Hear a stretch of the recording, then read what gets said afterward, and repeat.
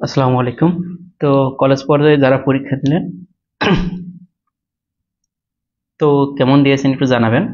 আর যারা আমাদের আঠারোতম শিক্ষক নিবন্ধন শর্ট শাসন বইটি বইটা ফলো করছেন, আশা করি যে পরীক্ষা আশানুরূপ দিয়েছেন। আমরা বলেছিলাম যে নিবন্ধন পরীক্ষার জন্য এরকম হাজার হাজার পেজের বই না পড়ে আপনি নিবন্ধন প্রিলিতে পাশ করে একদম সহজ, একশোর মধ্যে চল্লিশ।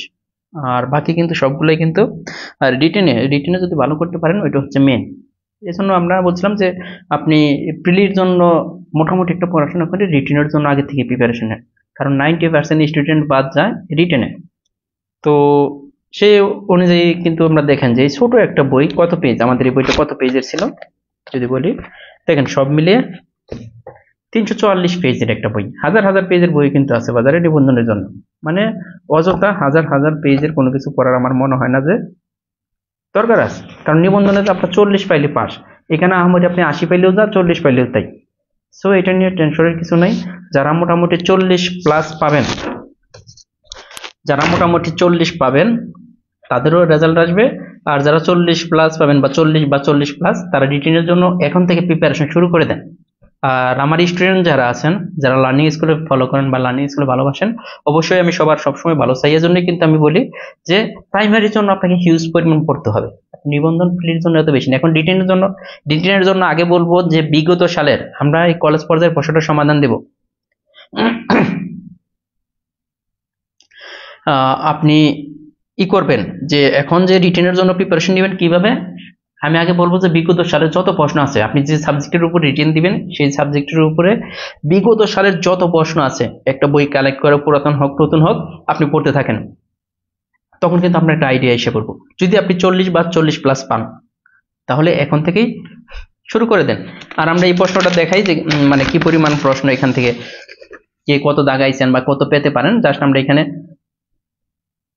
হ্যাঁ অবশ্যই। ফারজানা বাপি বলছেন, ভাইয়া কলেজে চল্লিশ পয়েন্ট পাঁচ আসে। আমি কি রিটেনের জন্য টিকবো হ্যাঁ হান্ড্রেড পার্সেন্ট আপনি যদি চল্লিশ পান, তাহলে রিটেনের জন্য প্রিপারেশন নেন। আগে আমরা প্রশ্নটা সমাধান করি, কেমন? এখানে বলছে যে একটু শেয়ার করে দেন। যারা লার্নিং স্কুলের যারা আছেন বা লার্নিং স্কুলের যারা পছন্দ করেন, একটু শেয়ার করে দেবেন। এই যে আমরা ম্যাথগুলো করাইছি, দুই দিন আগে করাইলাম। বৃত্তস্থ কোন কেন্দ্রস্থ কোণের অঙ্ক, দুই দিন আগে করাইছি না? বলেন, আসছে না? কলেজ পর্যায়ে আসছে, আপনার স্কুল পর্যায়ে ওইখান থেকে কিন্তু আসছে। কলেজ পর্যায়ের প্রশ্নটা দেখেন, একটু মিলিয়ে নেন। কার কয়টা হবে? একটু মিলিয়ে নেন যে পনেরনগর কোন জেলায় অবস্থিত? এটা কিন্তু বগুড়া। বাংলাদেশের সর্ববৃহৎ বায়ু বিদ্যুৎ কেন্দ্র কোথায় অবস্থিত? সর্ববৃহৎ, সবচেয়ে বড় হলি কক্সবাজার, আর প্রথম যে বায়ু বিদ্যুৎ কেন্দ্র এটা কিন্তু ফেনী অবস্থিত। এই যে পুলিশের সাহায্য পাওয়ার শর্টকাট, আমরা জানি যে ট্রিপল লাইনে ফোন দিলে আপনি পুলিশের সাহায্য পাওয়া যায়, তার মানে ট্রিপল লাইন তারপর দেশের প্রথম টানেলের দুর্গ, এটা কিন্তু স্কুল পর্যায়ে আসছে, এখানেও চলে আসছে। ওএমআর শিটে স্বাক্ষর দিতে বলেছে বলে হয়েছে এটা সমস্যা হবে না, সমস্যা হবে না। আপনার তো এর মধ্যে স্বাক্ষর করছেন হাজিরা শিটে তাহলে সমস্যা হওয়ার কথা না। এরপর আছে বাংলাদেশের সর্ববৃহৎ গণহত্যাটি কোথায় হয়? এটা হচ্ছে চুকনগর। এই চুকনগর জায়গাটা কোথায় অবস্থিত মনে হয় খুলনায়, ঠিক আছে? ভারত কর্তৃক সম্প্রতি চাঁদে প্রেরিত চন্দ্রযানের নাম কি? চন্দ্রযান থ্রি ওই যে বিক্রম না কি যেন নাম দিয়েছিল, ভারত কর্তৃক যেটা দিয়েছিল। যে সার্বজনীন পেনশন ব্যবস্থা বিল ব্যবস্থাপনা বিল দুই হাজার তেইশ পাস হয়। দুই জানুয়ারি দুই হাজার তেইশ। এরপর আছে আমার দেখা নয়াসিন কে লিখেছেন? এটা কিন্তু সবাই জানি আমরা শেখ মুজিবুর রহমান। এরপর আছে সিন্দুরি বাংলাদেশের কৃষিক্ষেত্রে কিসের নাম? কয়েকদিন আগে যে সাধারণ জ্ঞানের দুই হাজার তেইশ সালের যে প্রশ্নগুলো আমরা পড়াইলাম পড়ানো হয়েছিল, কিন্তু ওইখানে কিন্তু আসছিল এই প্রশ্নটা।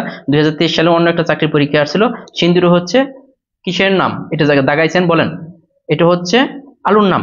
জাতীয় পতাকা উনিশশো একাত্তর সালে কোন তারিখে প্রথম উত্তোলিত হয়? এটা দোসরা মার্চ। দুই হাজার তেইশ সালে শান্তিতে নোবেল পুরস্কার পান। এটা তো স্কুল পর্যায়ে আসছে, তাই না? একই প্রশ্ন স্কুল পর্যায়ে, কলেজ পর্যায়ে দুইটাই আসছে। বান্দুং শহরটি ইন্দোনেশিয়া, বইয়ের মধ্যে এগুলা সবগুলো প্রশ্নই আছে। আর যারা আমাদের পেইড বেসের ক্লাস করছেন, তাদেরকে বলব তারা তো মানে এই সমস্ত প্রশ্ন দেখার আগে অ্যান্সার করা উচিত ছিল তাদের। এরপর হচ্ছে যে গ্রিন পিস কি? গ্রিন পিস হচ্ছে পরিবেশবাদী সংগঠন। খাদ্য শক্তি কিসের মাধ্যমে পরিমাপ করা হয়? এটা হচ্ছে ক্যালোরি অতিবেগুনি রশ্মি কোথা থেকে আসে? প্রতিবেগুনি রশ্মি আসে সূর্য থেকে। ঠিক আছে? যারা আচ্ছা একটু কমেন্ট করবেন যারা আমাদের যে আঠারোতম নিবন্ধন শর্ট সাজেশন পড়ছেন বা আমাদের কোর্সে ভর্তি ছিলেন, তাদের মধ্যে থেকে এমন কেউ আছেন যে পরীক্ষা খারাপ করছেন? বা ভাইয়া পারি নাই, এরকম কেউ বলতে পারবেন? এরপরে দেখেন কম্পিউটার শব্দের অর্থ কি? কম্পিউটার থেকে আমাদের বইয়ের মধ্যে কয়টা? তিনশো পঁচিশটা প্রশ্ন। ওই তিনশো পঁচিশটার মধ্যে ওইখানে আসছিল কি? কম্পিউটার থেকে কম্পিউটারের তথ্য আদান প্রদানকে বলা হয় ইন্টারনেট ওইটা আসছিল, আবার এখানে আসছে কম্পিউটার শব্দের অর্থ কি? গণনাকারী যন্ত্র। একদম বেসিক প্রশ্ন এগুলা। দেখেন, একদম বেসিক প্রশ্ন। তো এই জন্য আমি বারবার বলি যে যে কোনো একটা সেট বই আপনি ভালোভাবে শেষ করেন। আপনি দেখবেন যে যে কোনো চাকরির পরীক্ষা আপনি টিকতেছেন। আপনি হাজার হাজার বই কিনতেছেন, কিন্তু কোনোটাই শেষ করতেছেন না। গণিত আর ইংলিশের বেসিকটা ভালো করেন। আর আপনি ভালোভাবে সাধারণ জ্ঞান বলেন, বাংলা বলেন, এগুলো মুখস্থ আপনাকে করতে হবে। এগুলো ভালো করে একটু পড়েন। যে কোনো চাকরির পরীক্ষায় আপনি টিকবেন। ছয়টা মাস সময় দিতে হবে। এরপর আছে বৌদ্ধ ধর্মের বিখ্যাত নিদর্শন তক্ষশিলা। কোথায় অবস্থিত? এটা পাকিস্তান হ্যাঁ? কোথায় বস্তুর ওজন সবচেয়ে কম? দেখেন, নিরক্ষীয় অঞ্চলে সবচেয়ে কম আর মেরু অঞ্চলে সবচেয়ে বেশি। মেরু অঞ্চলে সবচেয়ে বেশি আর পৃথিবীর কেন্দ্রে বস্তুর ওজন হয় শূন্য। জাতীয় সংবিধান দিবস কত তারিখে পালিত হয়? এটা কিন্তু চারই নভেম্বর। কোনটি উপদ্বীপ? সৌদি আরবকে একটা উপদ্বীপ বলা হয়। এখানের মধ্যে যে কটা দেশ আছে? ব্যাকটেরিয়া কি ব্যাকটেরিয়া অনুজীব তারপরে এই যে এটা তো একদম সবার জন্য কমন যে গ্রিনিস মান সময় অপেক্ষা বাংলাদেশ সময়ের পার্থক্য কত ঘণ্টা? ছয় ঘণ্টা। সবাই জানে। বিশ্ব অটিজম দিবস কত তারিখে? দুই এপ্রিল। এরপর বলছে বর্তমানে বৃহত্তম ঢাকা প্রাচীনকালে কোন জনপথের অন্তর্ভুক্ত ছিল? এটা সবাই পারি, আমরা জানি যে বঙ্গ জনপথের অন্তর্ভুক্ত ছিল। লোহিত সাগর কোন দুটি মহাদেশকে আলাদা করেছে? এটা লোহিত সাগর, আফ্রিকা আর এশিয়া। এরপর আছে to read between the line means হচ্ছে to grabs the hidden meaning মানে হিডেন মিনিংটা খুঁজে বের করা। তারপরে এখানে দেখেন, এখানে কি হয়? এখানে dash mother rules in her the mother এটা দার হবে, সবাই আমরা জানি। I would have called her E প্রাণা had seen me I would দেখেন এখানে উড আছে, তাহলে ই প্রাণা এখানে কিন্তু হ্যাড হবে হ্যাঁ? ডু ইউ এনজয় টিচিং এখানে টিচিংটা হচ্ছে কি? জিরান। English dash across the world এটা কিন্তু একটা মুখস্থ সবাইরই। এটা একটা passive ভয়েসে English is spoken all over the world who will help you দেখেন হু হু উইল হু থাকলে আমরা জানি by whom will you be helped I am used I am used used এর পরে টু এর পরে বার্বের সাথে আইএনজি তার মানে I am use to starting মানে আমি, এরপরে আসেন জাস্ট প্রশ্নগুলো আমি দেখিয়ে দিচ্ছি। জাস্ট প্রশ্নগুলো দেখিয়ে দিচ্ছি। বলছে a speech full of many words এটা হচ্ছে এ বারবোস স্পিচ বিগত সালের প্রশ্ন এটা। The enemy gave in at last here gave in gave in মানে ইয়াল্ড মানে বর্ষতা স্বীকার করা, পরাজয় মেনে নেওয়া, এরকম একটা কিছু বোঝাইতেছে। The phrase get the axe get the axe এটা হচ্ছে লস দ্য জব এটা হচ্ছে the inspector was already তার মানে এটাকে কি করতে বলছে? আপনাকে এটা কি বলতে বলছে? তাহলে ওয়াজ থাকলে আমরা জানি ওয়াজের সাথে নট হয় ওয়াজ নট হি এরপরে কি আছে দেখেন? Now many women are working dash home with man outside এখন বর্তমানে কি? আউটসাইডে অনেক মহিলারা কি মানে পুরুষদের সাথে কাজ করে না? এটাই বুঝাচ্ছে। দ্য বার ফর্ম অফ ডিসিট ডিসিট মানে প্রতারিত হওয়া। এটার বার ফর্ম হচ্ছে deceive singular form of criteria criteria থেকে ক্রাইটেরিয়াম এই যে এটা থেকে যদি আম থাকে তাহলে সিঙ্গুলার আর শেষে এ থাকলে plural the adjective form of contribution কন্ট্রিবিউশনের adjective form হচ্ছে কন্ট্রিবিউটিভ কি?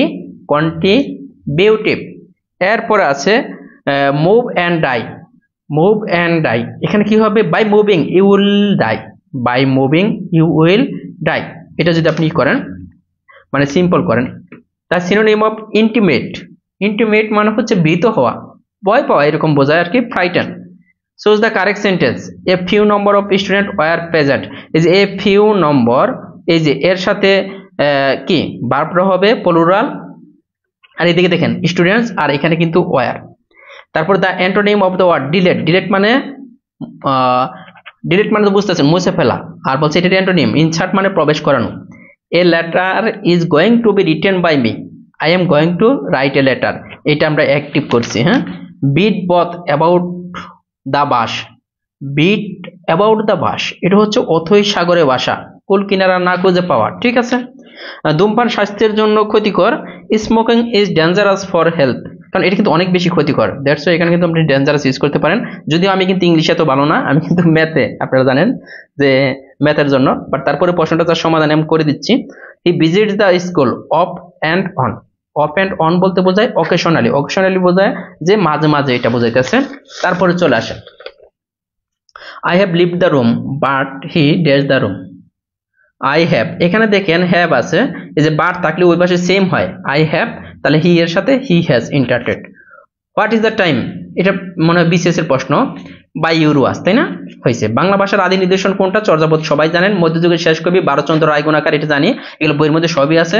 যুগ সন্দেখানের কবি ঈশ্বরচন্দ্র গুপ্ত, চতুর্দশপদী কবিতা বা সনেটের প্রবর্তন মাইকেল মধুসূদন দত্ত। এরপর আছে কোনটি সঠিক বানান? এই যে নিশিথিনী নিশিথিনী রিক্সা জাপানি ভাষার শব্দ। তাই কোন ভাষার শব্দ? কি বলবেন তো রিক্সা। বানুসিংহ কার সদ্য নাম? বানুসিংহ আমরা জানি রবীন্দ্রনাথ ঠাকুর। কত সালে জাতি পিতা বঙ্গবন্ধু শেখ মুজিবুর রহমানকে জুলিওকিরি পুরস্কারে ভূষিত করা হয়? জুলিওকিরি পুরস্কারে ভূষিত করা হয় উনিশশো বাহাত্তর সালে আর পুরস্কার গ্রহণ করে উনিশশো তিয়াত্তর সালে। এখানে কিন্তু পার্থক্য আছে। পার্থক্যটা কি বুঝতেছেন যে জাতির জনক বঙ্গবন্ধু শেখ মুজিবুর রহমান জুলাই করে তাকে পুরস্কারটা দেওয়া হয় কত সালে? মানে ঘোষণা করা হয় উনিশশো বাহাত্তর আর পুরস্কার গ্রহণ করে উনিশশো তিয়াত্তর। সঞ্চয়িতা। দেখেন, এটা হচ্ছে রবীন্দ্রনাথ ঠাকুর। কাজী নজরুল ইসলামের বিদ্রোহী কবিতাটি সাপ্তাহিক বিজলি পত্রিকায় প্রকাশিত হয়। ঠিক আছে, একটু শেয়ার করে দেন। যারা পরে জয়েন হয়েছেন, একটু শেয়ার করে দেন। তার বলছে, প্রাবকের সমর্থক শব্দ কোনটি? পাবক মানে আগুন মানে অগ্নি। অলিক অলিক কি? অলিক মানে বোঝাইতেছে মিথ্যা। অলিক মানে অবাস্তব বা মিথ্যা। অলিকের বিপরীত শব্দ সত্য। সুলতানার শব্দ উপন্যাস, বেগম রুকেয়া সাকাওয়াতের বন্দি শিবুর থেকে এটা কার লেখা? শামসুর রহমান, আকাশ কুসুম মানে কি? অসম্ভব কল্পনা বা চিন্তা। দেখেন, আকাশ কুসুম। দেখা যায় না? আকাশ কুসুম, অসম্ভব কল্পনা। রেশিও রেশিও আমরা পড়ছি না? মনে আছে কিনা ম্যাথে? এশিও মানে অনুপাত অর্থ অনুসারে শব্দ কত প্রকার? অর্থ অনুসারে শব্দ হচ্ছে তিন প্রকার। বাবা, বাড়ি নেই। এটা কিন্তু অপাদান হবে না। অধিকরণে শূন্য। এটা কি হবে? অধিকরণে শূন্য। তারপরে চলে আসি।